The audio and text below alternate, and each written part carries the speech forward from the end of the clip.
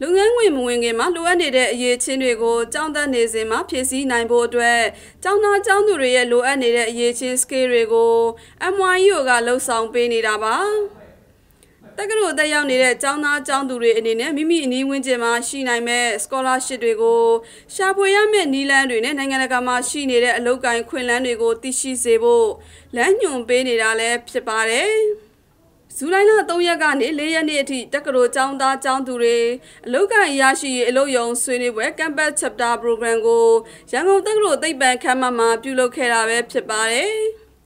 ကျွန်တော်တို့ចောင်းသားចောင်းသူတွေကအာကို့အနီးနားပတ်ဝန်းကျင်မှာဘယ်လိုမျိုးအခွင့်အရေးတွေရှိတယ်ဘယ်လိုမျိုး scholarship အခွင့်အရေးတွေရှိတယ်ဘယ်လိုမျိုးအလုပ်သင်အခွင့်အရေးတွေရှိတယ်ဆိုတော့ကျွန်တော်တို့ကဘယ်ကနေရှာမလဲဆိုတော့ကျွန်တော်တို့မသိကြပါဘူးဒါကြောင့်မို့လို့ M1 ရောကကမ္ဘာတကမ္ဘာလုံးမှာရှိတယ်မြန်မာနိုင်ငံမှာရှိတဲ့အခွင့်အရေးတွေအလုပ်ကိုင်အခွင့်အရေးတွေ scholarship အခွင့်အရေးတွေကိုတနေရာတွေမှာစုစုစည်းစည်းနဲ့ចောင်းသားတွေလေ့လာလို့ရအောင်ဖြန့်ဝေပေးနေတဲ့ဖွဲ့စည်းလေးဖြစ်ပါတယ်ဒါအပြင်တက္ကသိုလ်တက်ရောက်နေတဲ့ကျောင်းသားကျောင်းသူတွေအချင်းချင်းချိတ်ဆက်ဆောင်ရွက်နိုင်မှု ဥဆောင်နိုင်မှုစတာတွေကိုတက္ကသိုလ်ပညာသင်ကြားနေစဉ်မှာအကျိုးရှိရှိအသုံးချဆောင်ရွက်နိုင်ဖို့လိုအပ်တဲ့အပြင်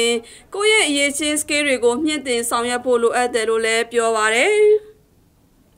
အဲကျွန်တော်တို့အခုရောက်ရှိနေတဲ့အချိန်က 21st century ဖြစ်ပါတယ်။ဒါကြောင့်မို့လို့ကျွန်တော်တို့က 21st century မှာရှိတဲ့ skill တွေကိုရှိဖို့လိုအပ်ပါတယ်။ကျွန်တော်တို့ကျောင်းသားကျောင်းသူတွေကကျောင်းပြီးပေါ်လို့ရှိရင်အလုပ်ကိုအလွယ်တကူရဖို့အတွက်ကကျွန်တော်တို့ hard skill အပြင်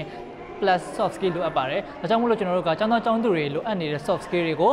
မြင့်တင်ပေးဖို့အတွက်ဘယ်လိုမျိုးမြင့်တင်မလဲ soft skill တွေကိုဘယ်လိုမျိုးအားကောင်းအောင်လုပ်မလဲဆိုတဲ့ရည်ရွယ်ချက်နဲ့ဒီ workshop လေးကိုလုပ်ရတာဖြစ်ပါတယ်တက္ကသိုလ်ကျောင်းသားကျောင်းသူတွေအလုပ်ကိုင်ရရှိရေးလုံယုံဆွေးနွေးပွဲ Campus Chapter Program ကို2018ခုနှစ်က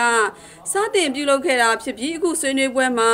ရန်ကုန်မြို့ရှိတက္ကသိုလ်ကျောင်းပေါင်းစုံကကျောင်းသားကျောင်းသူပေါင်း200ကျော်တက်ရောက်ခဲ့တာပဲဖြစ်ပါတယ်ရှင်။အားလုံး